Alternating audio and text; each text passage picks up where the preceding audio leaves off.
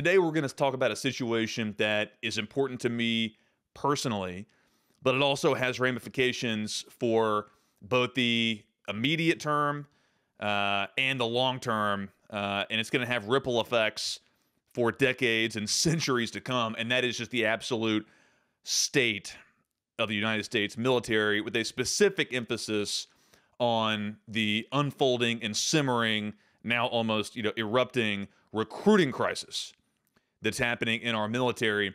And it boils down to this. And I want everyone to listen up, turn up the volume, because this is the bottom line.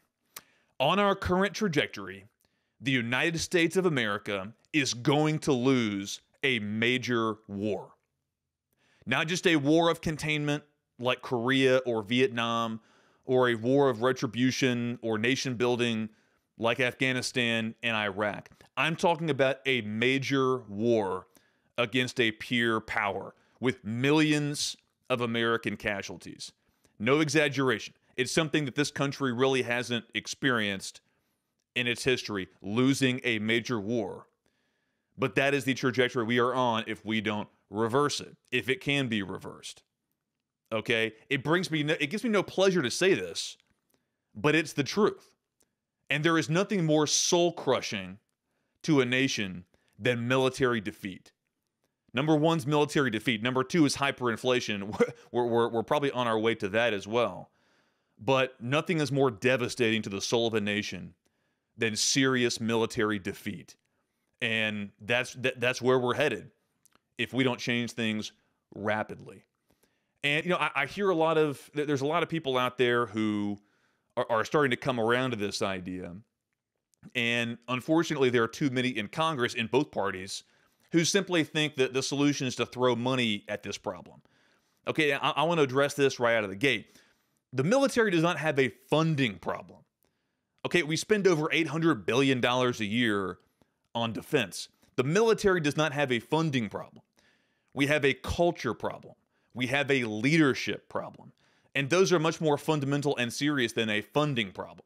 Okay, we've already been like, like here's here's how much money we spend on defense and and foreign aid, which is you know an element of foreign policy. I mean, we've already given more money to Ukraine in inflation adjusted terms than we spent in the entirety of the mid 20th century in the Marshall Plan, rebuilding Western Europe. We've already overspent that in Ukraine. And of course, we overspent that in Iraq and Afghanistan. So it's not, I mean, we have, like, for now, we have control over the money printer. So funding is not the issue, it, but it's, it's a much more deep and insidious issue, which is culture and leadership. Think about it this way. Could you, could you even imagine leaders like George Patton or General Douglas MacArthur or Admiral Bull Halsey in the modern military? Could you even imagine that today?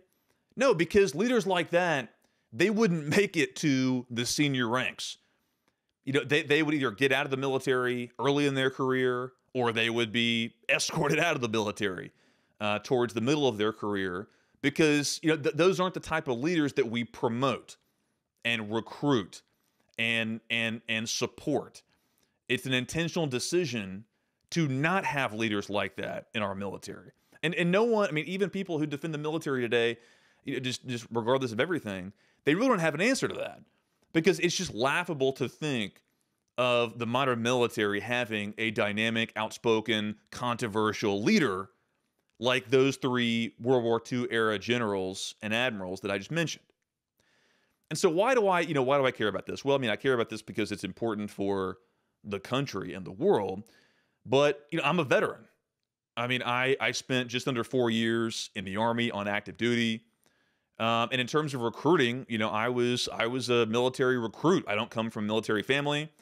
Um, you know, no one in my immediate family, um, you know, has has military service in their background.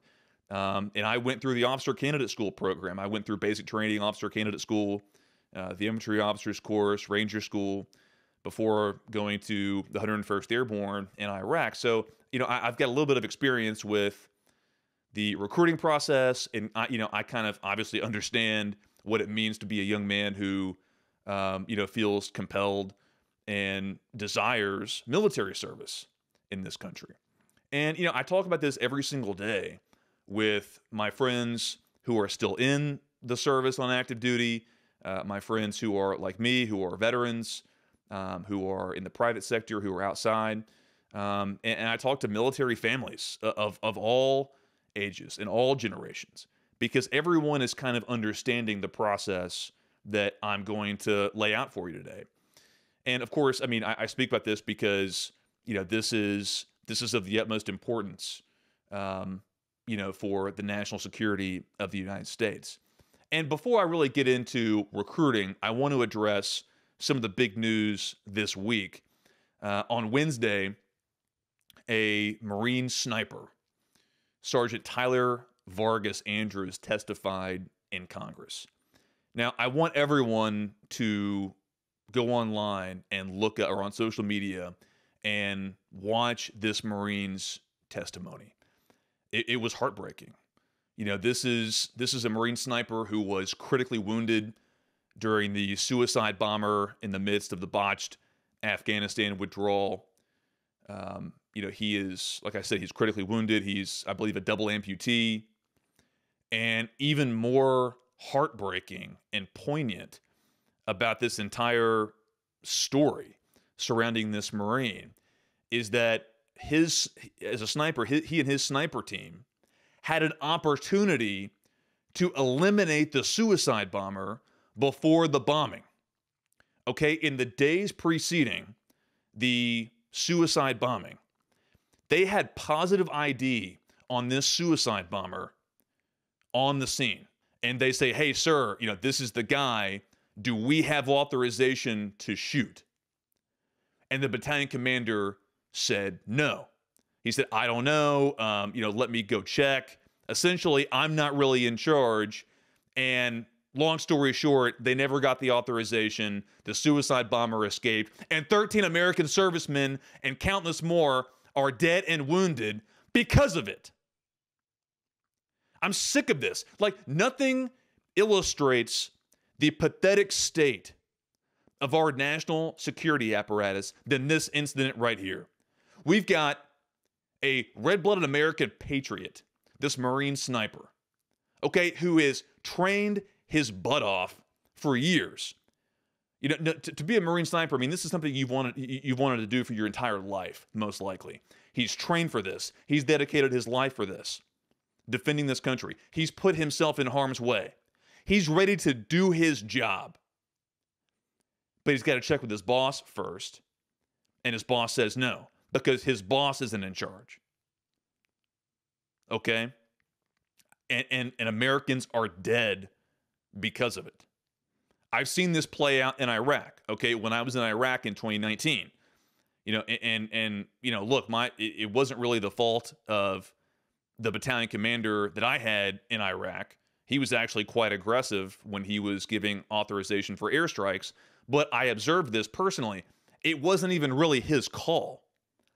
Okay, the person who had who had ultimate authority to green light airstrikes and and and you know uh, lethal action were the lawyers in Baghdad at what we called U3, Union 3, you know, in the green zone in Iraq. You know, we're all watching the same feed from the tactical operating center.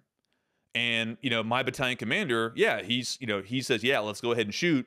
But it wasn't, it wasn't up to him to give final authorization. It was the lawyers. And I guarantee you, it was a similar situation with this Marine sniper, okay, with Sergeant Tyler Vargas Andrews. I guarantee you, the battalion commander, he he, I mean, he he probably, you know, I, am not going to speak for this clown, but he probably would. All other things being equal, he would have said, "Yeah, take the shot."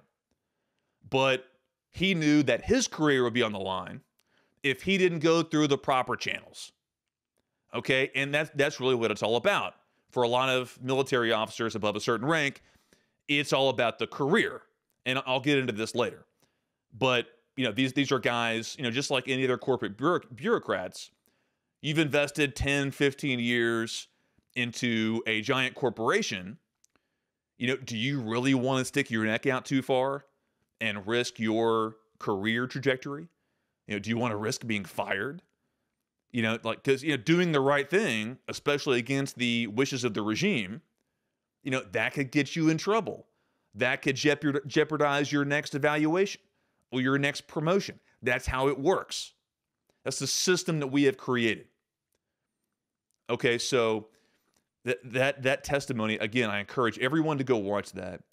It was infuriating, it was heartbreaking, but that is the complete and utter state in a perfect illustration of where we are as a country and as a military specifically. And so one of the main issues that we have in the military is recruiting. And here are some of the basic facts. You know, hat tip to christina Wong over at Breitbart. You know, she's give her a follow on give her a follow on Twitter.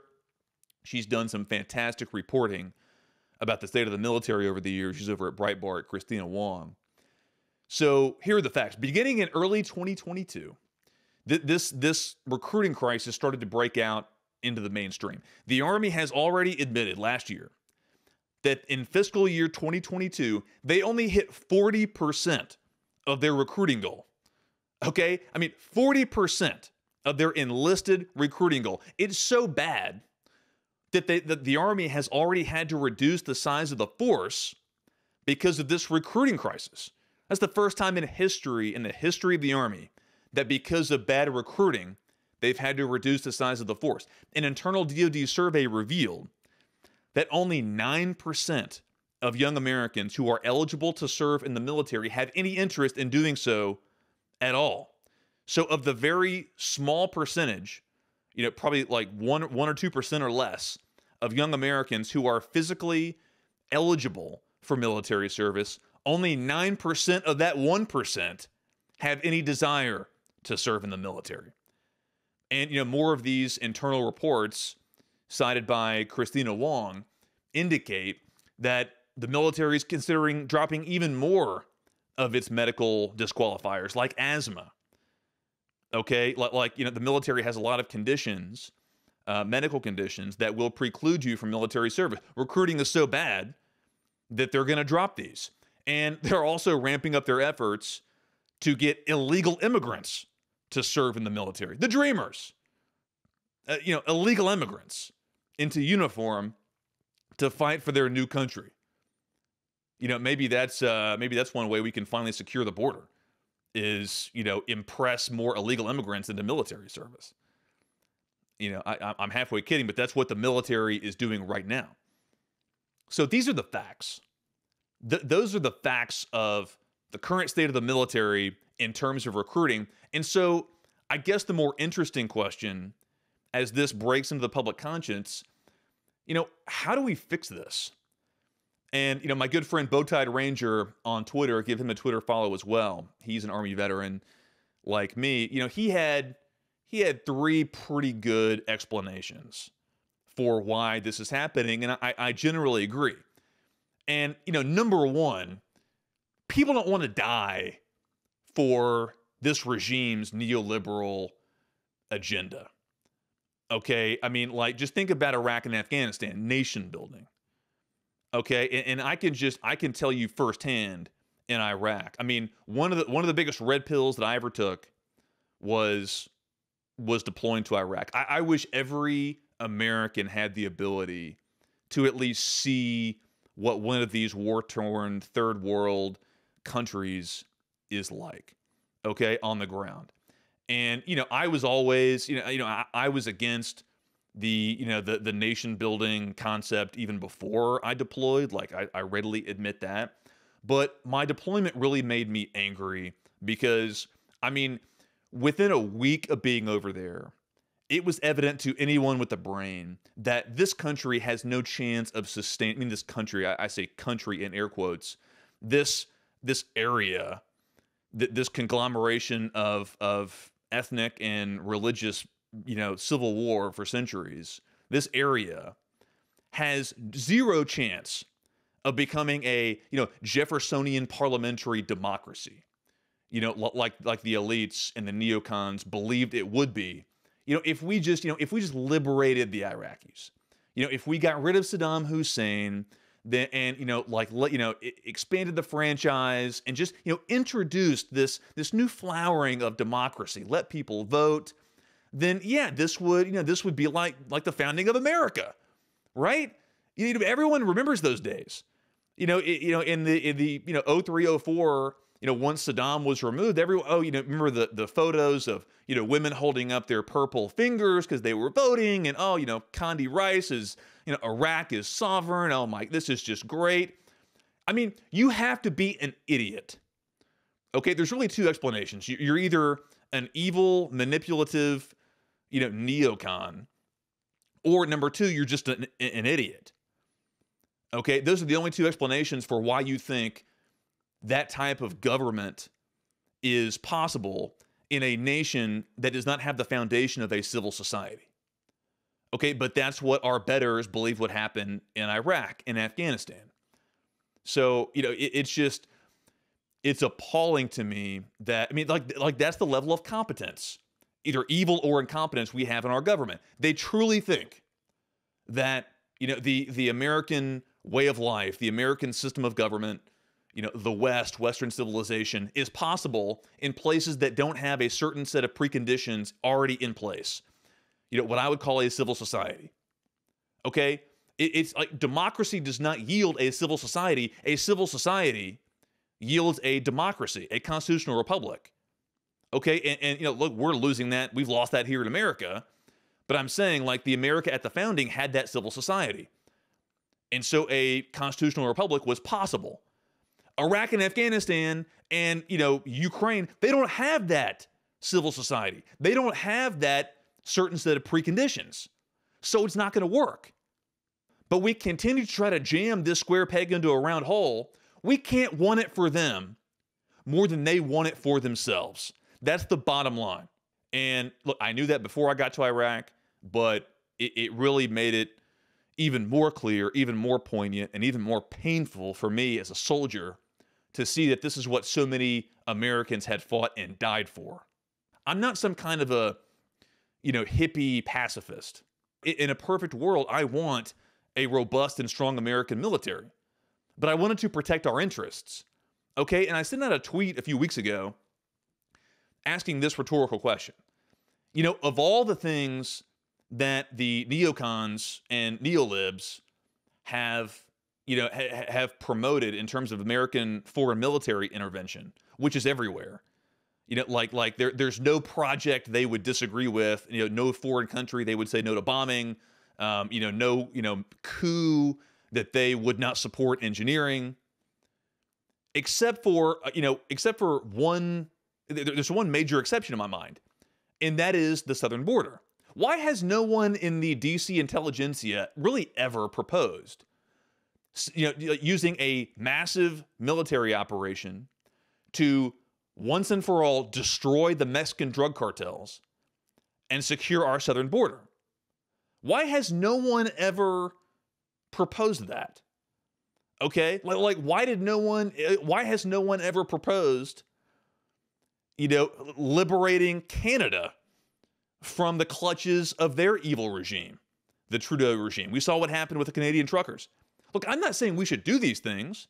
I mean, I think, I mean, obviously, our military leadership is incompetent. Okay, and, and and you know, an invasion of Mexico or an invasion of Canada under the current leadership would surely yield a disaster.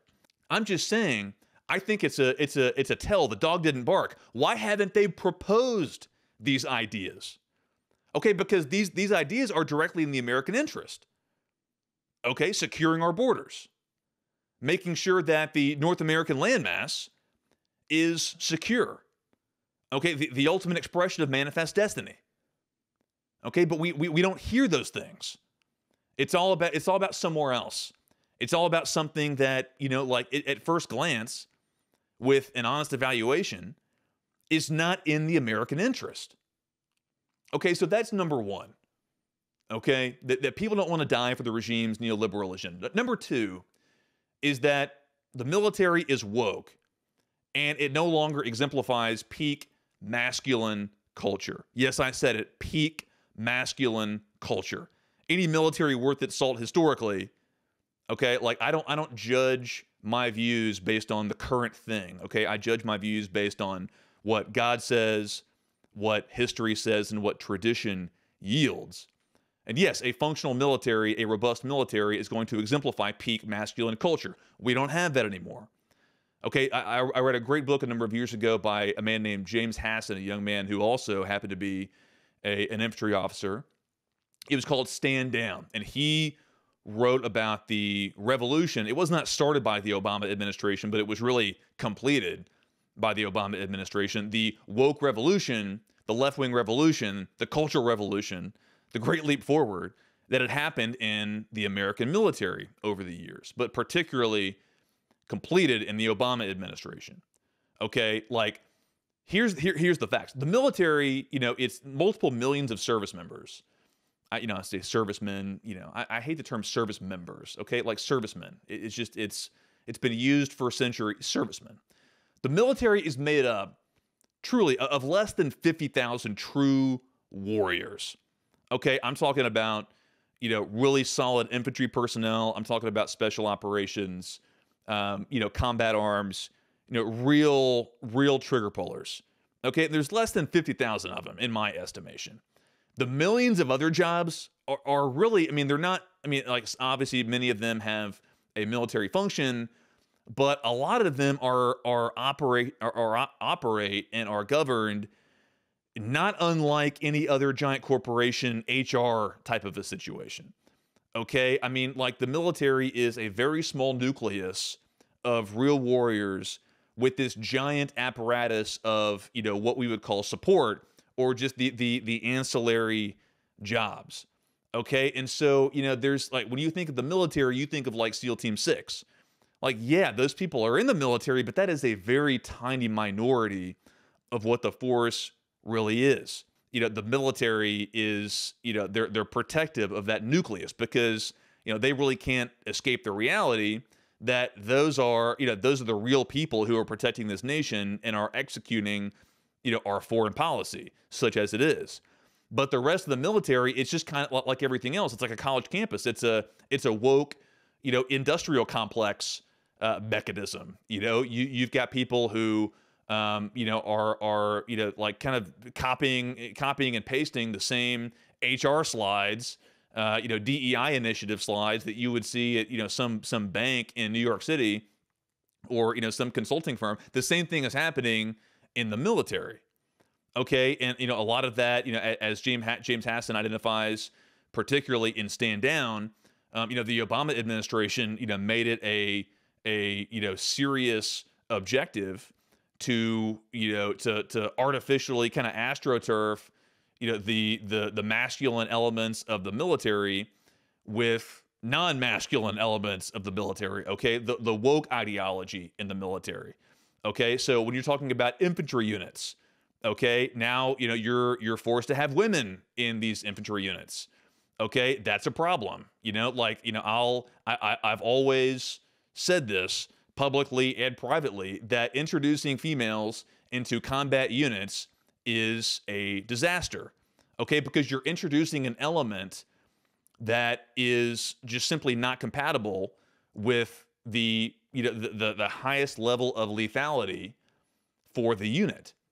Okay, and that's that's that's probably a subject for a deeper podcast on that issue specifically.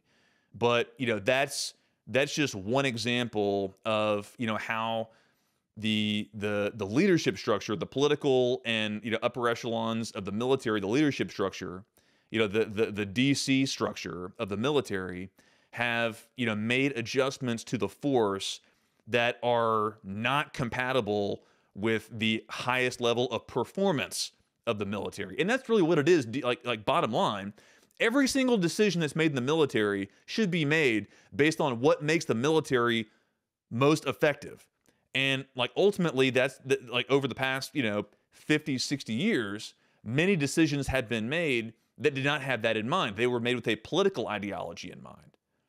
Okay, so that's number two. And then number three, you know, the elephant in the room for the past several years is the vaccine mandates. Okay, I mean, like the, vaccine mandates exposed for everyone to see how little the regime really cares about about servicemen. You know, like I mean, like they're we're talking about the military, especially that, you know, like hardcore group of trigger pullers. I mean, these are, I mean, like, especially that group. I mean, I've played, football at a very high level, you know, in the SEC in college and with the New England Patriots in the NFL. Okay, like these elite level military personnel are not unlike professional athletes. Okay, like they don't get paid like professional athletes, but in terms of athleticism, in terms of their training regimen, uh, regimen, diet, you know, nutrition, I mean, everything, um, and the amount of money that is spent on their training. I mean, these are basically professional athletes. Okay, this is a young and healthy demographic. These people never needed the vaccine.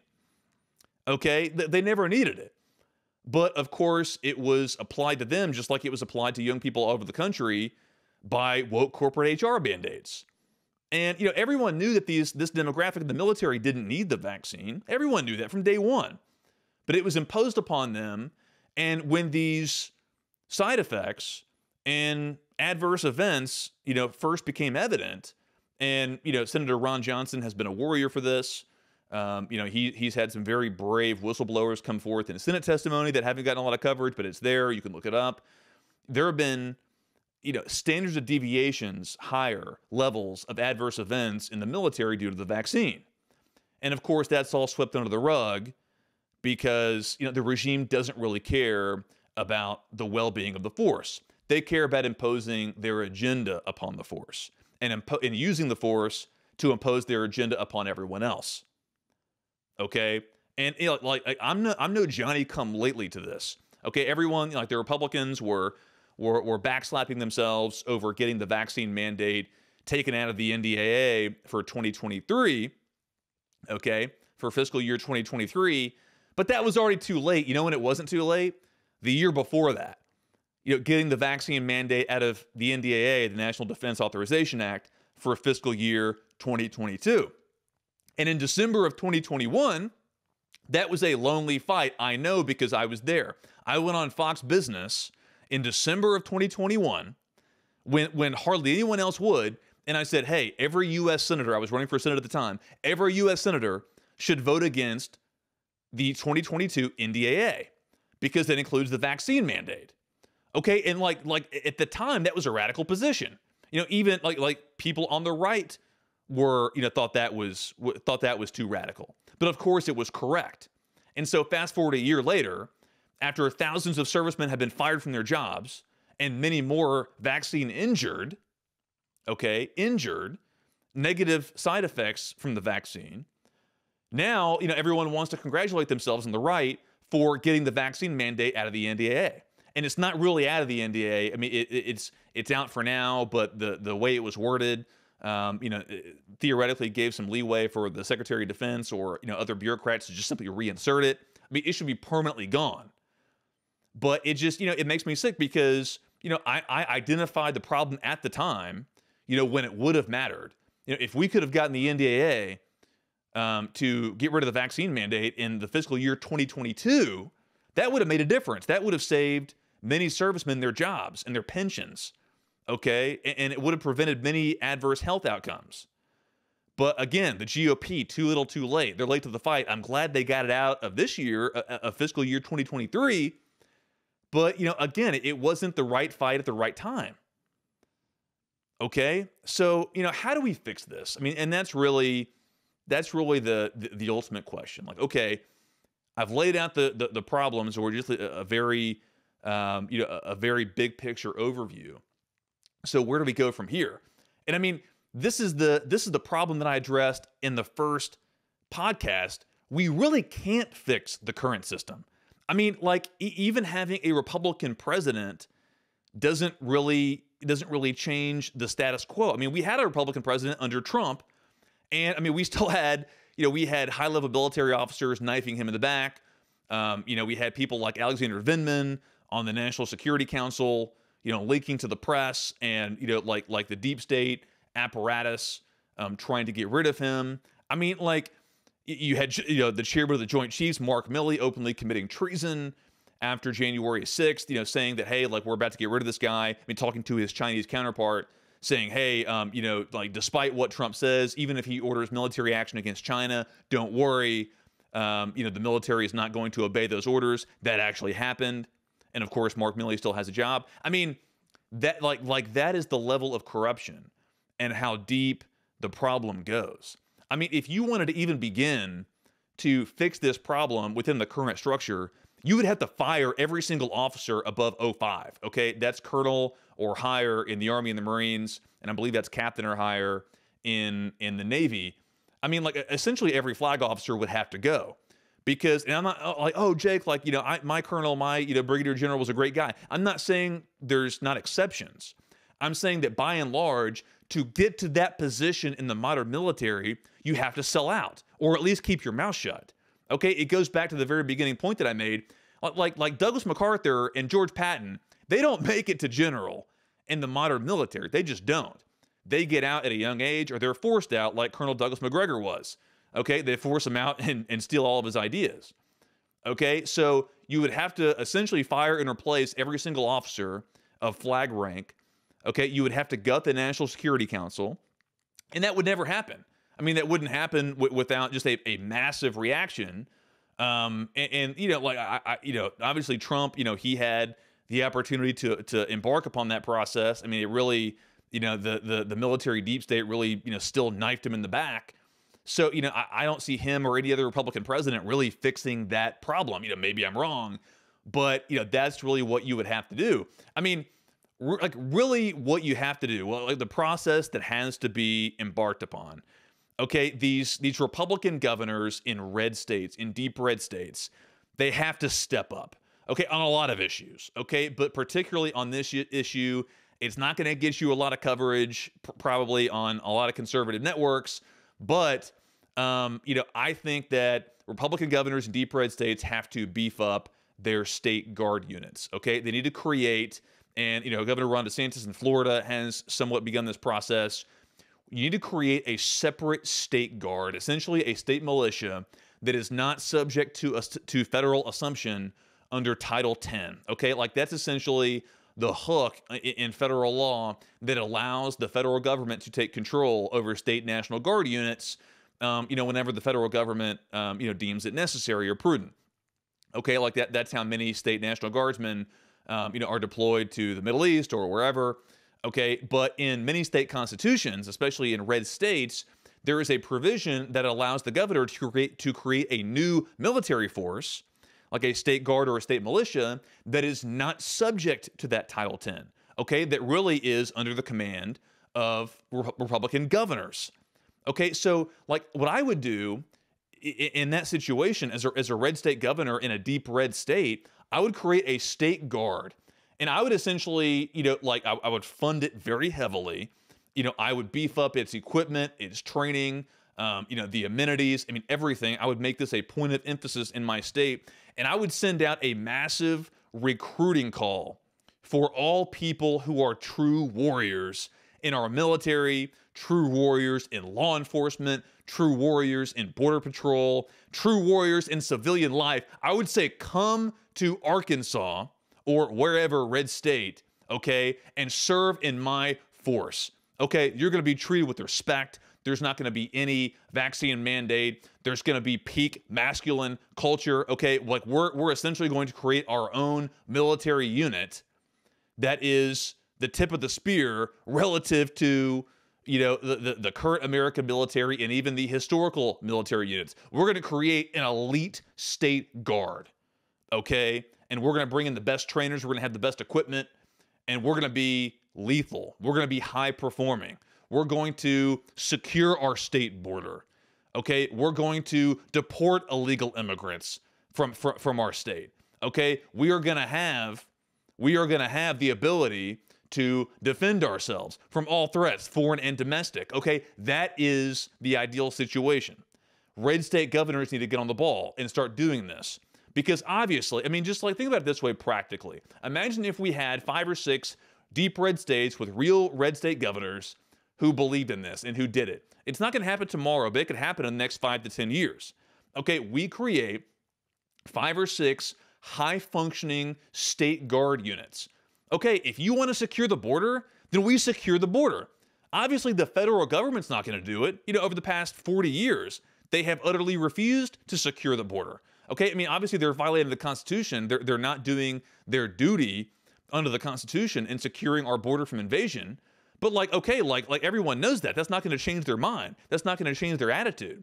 Okay, even Trump sent some units to the border. You know, like when I was in Iraq, um, a, a, sister brigade in the 101st Airborne was deployed at the southern border. Okay, and that's not just a pie in the sky fantasy. You know, it's doable with the right leadership, with the right funding, with the right recruiting message. I think this could be a very attractive solution. But, you know, it's a project. It's a project for the future. You know, because look, I mean, the federal government, you know, is, is you know, for all intents and purposes, is lost. Red states, red counties, red districts. Okay, get the right leaders into those positions. Okay, and and that's really that's my number one, you know, immediate or intermediate and long term solution for for this issue. So, you know, there's there's my state of the U.S. military with an emphasis on recruiting. I'm not just going to give you complaints. I'm going to give you potential solutions. But for those of you who have not served uh, in the military or don't have many military members in your family, you might not be aware of this issue. So I wanted to lay it out for those who are not thinking about this issue every single day. It's a problem that you know a lot of us who who, who have worn the uniform have identified. Um, it's an existential threat, not just to our government, but you know to our prospects worldwide. Um, so it's a serious issue. I hope you were informed by this podcast. Uh, like this podcast, subscribe to it. We're on YouTube, Apple Podcasts, Spotify. Share this thing around. Give us a five star review. And I can't wait to be with you again next week for episode three. God bless.